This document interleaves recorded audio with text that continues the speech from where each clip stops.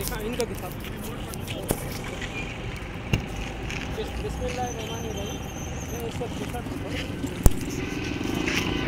बिस्मिल्लाहिर्रहमानिर्रहीम बिस्मिल्लाहिर्रहमानिर्रहीम मैं इस वक्त सीमेंस चौरंगे पे आया हूँ और यहाँ जो रोड की हालत है, वो आपको दिखाना चाहता हूँ कि कितनी बर्बाद हुआ हुआ है।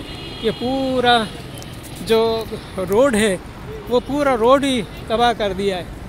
और कम्प्लीटली इन्होंने तोड़ दिया है।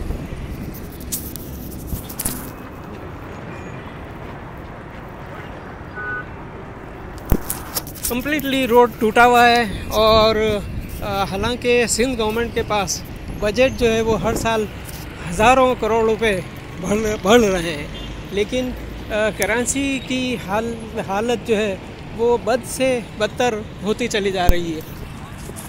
यहाँ मैं ये बताना आज 21 मई 2018 के दिन है जब मैं आया हूँ यहाँ पर और यहाँ ये मैं जो वीडियो बना रहा हूँ तो मैं ये आपको बताऊँ कि पिछले साल से पिछले साल जो बजट था उसमें सत्रह हज़ार चार सौ करोड़ रुपए से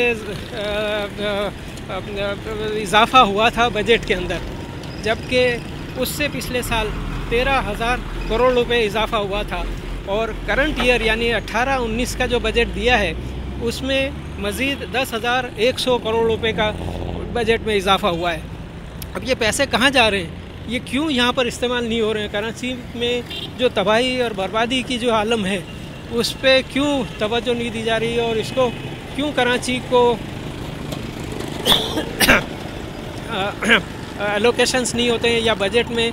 और फंड्स क्यों नहीं दिए जा रहे? हैं मैं सिविल सोसाइटी से सबसे अपील करता हूँ, रिक्वेस्ट करता हूँ कि कराची को तबाही से बचाने के लिए अपना किरदार अदा करें और सिंध गवर्नमेंट के जो बिल्कुल बजट, पता नहीं कहाँ यूज़ हो रहा है तो ये भी किसी तरह कराची को इंसाफ मिले। शुक्रिया। next round.